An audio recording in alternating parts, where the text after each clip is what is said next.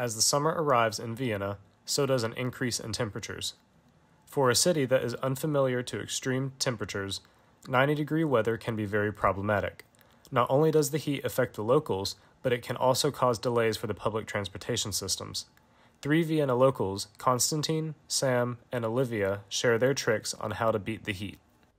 Constantine talks about the importance of green spaces around the city.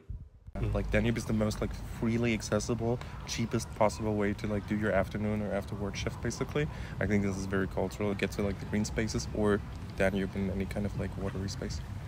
Sam shares his favorite spots to cool off.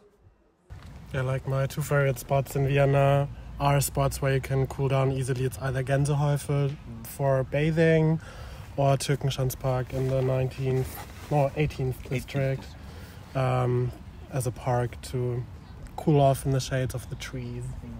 Olivia gives her advice on how to beat the heat in different ways. Take a couple days off and go to the Danube and enjoy the water. Go swimming, um, have some ice cream, um, but also play some ball games or whatever. With the temperatures only increasing over the summer, it is very important to find a way to cool off and relax. In a city that is filled with large concrete and metal buildings, the parks and riverside green spaces are the key to cooling off on a hot summer day.